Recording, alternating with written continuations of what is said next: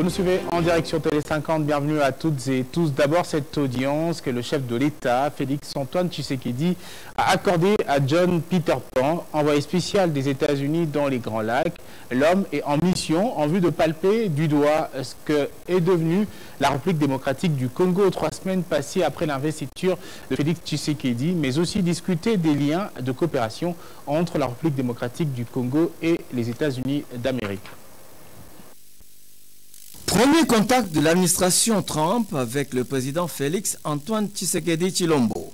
Cela s'est effectué par le biais de l'envoyé spécial des États-Unis dans le Grand Lac qui s'est entretenu ce vendredi 22 février 2019 à la Cité de l'Union africaine avec le chef d'État congolais Antoine Tshisekedi Chilombo.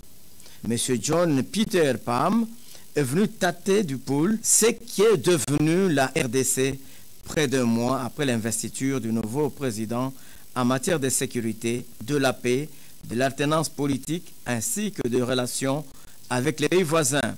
Selon John Peter Palm, le calme et le climat des bonnes affaires propices à la promotion du développement économique et social sont rétablis. Je suis heureux d'être euh, ici de nouveau dans la République démocratique du Congo en ce moment historique pour le peuple congolais. La première fois avec une transition pacifique constitutionnelle dans l'histoire de votre pays. Monsieur le Président m'a accordé l'opportunité de parler avec lui, féliciter en mon nom propre comme ami, mais aussi au nom du peuple et gouvernement des États-Unis en ce moment historique et porter notre message de fort engagement et appui pour le changement voulu pour le peuple congolais et accompagner les, marches de valeurs, la contre-corruption euh, et de reconstruction qui est le message de Monsieur le Président. Et en fait, la paix et la stabilité dans la République démocratique du Congo, mais aussi dans la région des Grands Lacs, est important, pas seulement pour les peuples de, de ce pays, pour le peuple de la région, mais aussi pour le monde et aussi les États-Unis. Nous cherchons la paix et la stabilité, aussi nous cherchons les opportunités communes afin d'améliorer les rapports économiques, commerciaux, à la prospérité du peuple américain et aussi le peuple congolais. Au sujet des nouvelles sanctions américaines contre certaines personnalités congolaises, la société civile de la RDC rejette euh, ces sanctions qu'elle qualifie d'injustes et non fondées. La société civile dénonce et qualifie ces dernières d'une euh, véritable tentative de déstabilisation des institutions en place et de son côté, la population s'est dit indignée. Fabien Lumbala. Encore des sanctions des maîtres démocrates américains à l'endroit des personnalités de la République démocratique du Congo. Corneille Nanga, Norbert Basengezi Katintima, Marcelin Moukoko, Oben Minaku et Benoît Luamba. Ils sont interdits, avec leur famille, de fouler les sols américains. Motif avancé selon le département d'État américain, corruption et violation des droits de l'homme et des abus. La réaction parmi les personnalités ciblées a été prompte. Corneille Nanga et Norbert Basengezi rejettent en bloc ces allégations qu'ils jugent injustes. Au-delà des chefs d'accusation, l'attitude des maîtres démocrates américains cache quelque chose. Mais lequel? Quel message Washington renvoie-t-il au nouveau chef de l'État congolais, Félix Antoine Tshisekedi Chilombo Pas très pressé pour en déduire, mais seulement il apparaît que la véritable guerre de l'indépendance économique du Congo ne fait que commencer les multinationales n'étant pas prêtes à désarmer pour laisser la République démocratique du Congo appliquer le nouveau code mini. Cependant, pourquoi la politique de deux poids deux mesures? Pourquoi Washington est-il aussi laxiste avec certains et rigoureux avec les autres? Par exemple, laxiste avec les Saoudiens dont le prince héritier Mohamed Ben Salman dans le dossier de l'assassinat crapuleux du journaliste Khashoggi. La réponse est simple, les affaires en termes de milliards de dollars sont plus importantes que les droits de l'homme. Un coup d'État manqué au Venezuela grâce à Moscou qui dénonce déjà la tentative d'armer la fameuse opposition vénézuélienne. Pour le peuple africain congolais, la confusion risque de perdurer car le diable sanctifie, entre guillemets, qui il veut et colle sa queue à qui il veut aussi. Entre-temps, ainsi vont les sanctions selon le bon vouloir des maîtres démocrates américains. Les élections à Boutembo, Beni et Yumbi auront bel et bien lieu le 31 mars 2019. Déclaration du président de la Commission électorale nationale et indépendante Corneille Nanga à son arrivée vendredi à Goma dans la province du Nord Kivu. Sa mission dans l'est du pays intervient dans le cadre d'une évaluation euh, purement technique des prochaines opérations électorales. Je propose ici d'écouter Corneille Nanga euh, dans ses propos recueillis par Pacheco Kavundama. Politique et technique pour évaluer. Nous allons nous rendre à Vigny à pour évaluer les aspects euh, surtout techniques, préparation technique, préparation de machines, et comment on va déployer, ce qui était déjà recruté, comment on va les former, réactualiser ce qui avait donné l'information faire en sorte que les 31, nous ayons les élections. C'est ça la raison pour laquelle nous sommes. Mais en même temps, c'est l'occasion de discuter avec toutes les parties prenantes le processus, en commençant par Romain, comme aussi à Bani. La même équipe a été envoyée à Yuri pour ce qui concerne la province de Mangou. Et à notre retour, nous allons faire en sorte que euh, nous mettions le tout en marche 31 mars la Béni, territoire béniville, mais aussi dans la et.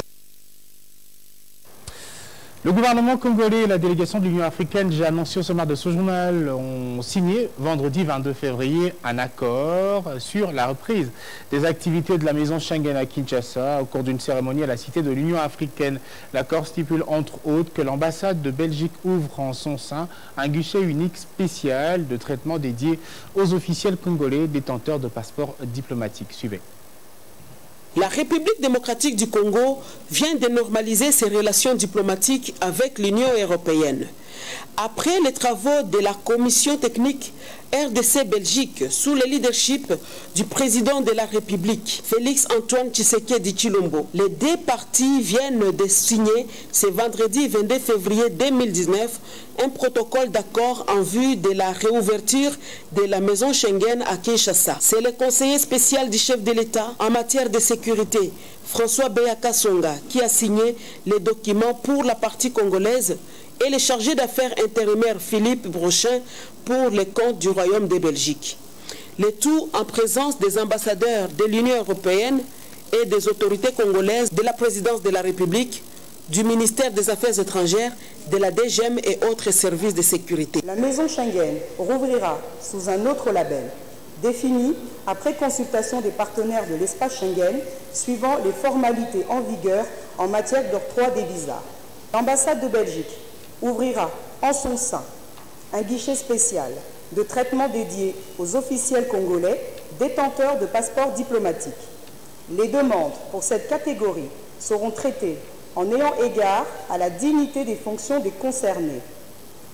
De manière réciproque, la validité des visas octroyés aux officiels détenteurs des passeports diplomatiques sera d'une durée d'au moins trois mois avec plusieurs entrées.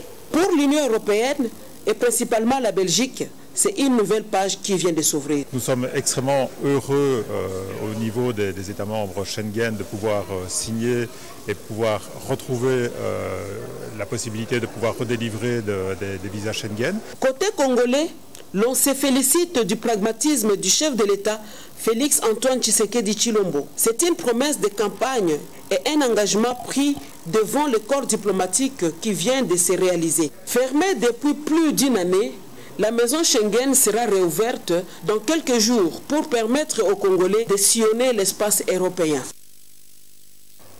Dans l'actualité également, décidé le mardi 19 février dernier, les obsèques du sénateur et ancien vice-président congolais Yorodi Abdoulaye Ndombassi annoncé pour le mercredi prochain a été reporté à une date ultérieure. Information euh, confirmée par euh, des sources familiales. La décision fait suite au planning du comité organisateur, euh, suite aux exigences notamment officielles. Et quant aux obsèques de Pierre Ndaye, légende du football africain, Eric Corman début en une édition euh, d'une Coupe d'Afrique des Nations, initialement prévue pour euh, mercredi. Euh, le rapatriement en terre congolaise de la dépouille intervient ce dimanche 24 février en provenance d'Afrique du Sud. Et en dehors de nos frontières au Nigeria, après un report d'une semaine et plusieurs rumeurs mettant en doute la tenue des élections euh, présidentielles et législatives, c'est finalement ce samedi que les quelques 120 000 bureaux de vote ont officiellement ouvert euh, les portes dans le pays et 84 millions de Nigérians ont été aux urnes pour élire leur président. Au total, 72 candidats sont en lice pour la course à la magistrature suprême. Au Nigeria, ce 23 février, le bureau de vote ont bel et bien ouvert les portes. À Abuja, la capitale, le président nigérien Mohamedou Buhari est candidat à sa propre succession pour un second mandat, a lui aussi accompli ses devoirs civiques. Ainsi, après une semaine de report pour des raisons logistiques et des rumeurs sur un nouveau report, voilà que le rendez-vous aux urnes s'est concrétisé. En effet, initialement prévu samedi 16 février dernier, pour ce qui est de la présidentielle, il y a au total 70 candidats en lice pour la magistrature suprême. Mais la véritable bataille demeure entre les candidats des deux principaux partis, le président sortant Mohamedou Bouhari pour l'APC et Atikou Aboubakar, candidat du Parti démocrate populaire, principal candidat de l'opposition et ancien vice-président entre les années 1999 et 2007. Un fait à prendre en compte, ces élections s'organisent dans un contexte sécuritaire très tendu on pourrait donc entendre plusieurs explosions dans le nord-est du pays, deux heures avant l'ouverture du bureau des votes. La sécurité étant préoccupante, comme l'a indiqué le chef de l'État Mohamedou Bouhari, une présence policière est donc permanente devant chaque unité des votes. Le Nigeria, première puissance économique africaine et principal pays producteur du pétrole du continent, est rangé depuis des décennies par la corruption et l'insécurité, notamment liée à la présence des islamistes de Boko Haram dans le nord-est ces coins où le principal adversaire du président sortant, l'opposant Atikou Aboubakar, 72 ans, est attendu dans un bureau des votes de Yola, dans l'état d'Adamawa, pour déposer son scrutin dans l'urne. Les analystes s'attendent donc à un duel très serré entre les deux hommes. Et au Soudan, le président Omar, euh, El-Béchir euh, a déclaré vendredi l'état d'urgence dans l'ensemble du pays et a annoncé le limogeage du gouvernement ainsi que des instances dirigeants. Les provinces du pays, secouées depuis deux mois par des manifestations réclamant son départ. Les organisateurs des manifestations anti-gouvernementales ont appelé à la poursuite du mouvement. Le récit de Mercis Mayangila. Alors que la contestation sociale s'est poursuivie au Soudan, le président Omar El-Béchir a déclaré l'état d'urgence dans l'ensemble du pays pour un an et limoge le gouvernement ainsi que des instances dirigeant les provinces du pays. Afin de réaliser les aspirations de notre peuple et nos rêves de renaissance, de reconstruction et de bien-être, je déclare par la présente l'état d'urgence pour un an dans tout le pays. Je dissous le gouvernement central et le gouvernement des États. Réagissant à ces annonces, l'association du professionnel soudanais APS a affirmé qu'elle continuerait à appeler à manifester jusqu'à ce que le président démissionne. Depuis deux mois des manifestations quasi quotidiennes, déclenchées par la décision du gouvernement de tripler le prix du pain, la contestation s'est vite transformée en un mouvement réclamant la chute du président Omar El-Béchir au pouvoir depuis 1989. Selon un bilan officiel, 31 personnes sont mortes depuis le début des troubles. L'ONG Human Rights Watch évoque les chiffres des 50 morts, dont des enfants et des personnels médicaux. Des centaines de manifestants, dont des chefs de l'opposition, des militants et des journalistes, ont été emprisonnés par les puissants services du renseignement. Inébranlable face à ce qui constitue, selon des experts, son plus grand défi en trois décennies, le chef de l'État de 75 ans envisage de briguer un troisième mandat lors de la présidentielle de 2020. L'opposition a renouvelé vendredi son appel à poursuivre la contestation jusqu'au départ d'Omar El-Béchir. Une note dans ce journal, il s'agit de, la boxe. Les championnats nationaux initialement prévus du 22 au 27 février ont été repoussés d'une semaine, soit du 25 au 2 mars 2019 à Kinshasa, la capitale. À en croire le comité exécutif de la Fédération congolaise de boxe, les raisons sont liées à l'arrivée tardive de délégations provinciales dans la capitale et aux conditions météorologiques. C'est le premier vice-président de la dite fédération, Bienvenue Kalunga, qui l'a dit ce vendredi à nos reporters. Suivez. Initialement prévu du 22 au 27 février, c'est finalement le lundi 25 février 2019 que s'ouvre à Kinshasa le championnat national de boxe. Bienvenue Kalunga, premier vice-président de la dite fédération, évoque ici les raisons de ce énième rapport. Il était prévu que les délégations provinciales, hein, puisqu'il y avait 11 provinces où on pratique la boxe, qui devaient être avec nous à partir euh, du 20 déjà, mais malheureusement, il y a beaucoup de provinces qui n'ont pas été prises en charge par, euh, par leur gouverneur. Et c'est pourquoi le président de la fédération, le général Louyoyo, a pris carrément la décision de faire venir toutes ces délégations à ses frais. Et donc, si vous voyez ce petit retard, c'est puisque nous étions sûrs que ces délégations allaient venir aux frais des provinces. Mais malheureusement, on nous a dit en dernière minute, c'est hier seulement qu'on nous a dit ça. Cette compétition nationale qui se veut grandeur nature se tiendra toujours à la place de la gare à Gombe et connaîtra la participation de plusieurs provinces, dont le Bandundu qui est là, le Kwilu. Nous avons le Sud Bangui qui est là, il y a le Nord Kivu qui est là, il y a le, le Lolaba qui vient d'arriver, le Congo central qui vient d'arriver. Il reste quelques 3-4 provinces qui doivent arriver. Les billets sont déjà envoyés. Dès que nous avons toutes les délégations, nous commençons sans problème. Une première sous l'air Ilunga Lyoyo cette joute nationale devrait, selon les attentes du bureau fédéral, être placée sous les signes de la renaissance de la boxe. Tout ça sous le signe de la renaissance de la boxe. Hein, vous savez que la boxe euh, dans notre pays, après le football, la deuxième discipline sportive qui parlait d'elle, qui faisait parler d'elle, c'était la boxe. Et depuis des décennies, on ne parle plus de la boxe. Quand vous dites que je suis boxeur, on vous prend pour un bandit. Et depuis notre avènement, l'avènement du comité dirigé par le général Louyoyo, en janvier 2018, nous avons pris d'autres dispositions. Ainsi, tous les yeux des amoureux du Noblard sont désormais braqués vers Kinshasa, province haute de ces championnats, qui reste un défi majeur pour le comité Louyoyo. Voilà, ce journal prend fin tout de suite. Je rappelle des principaux titres.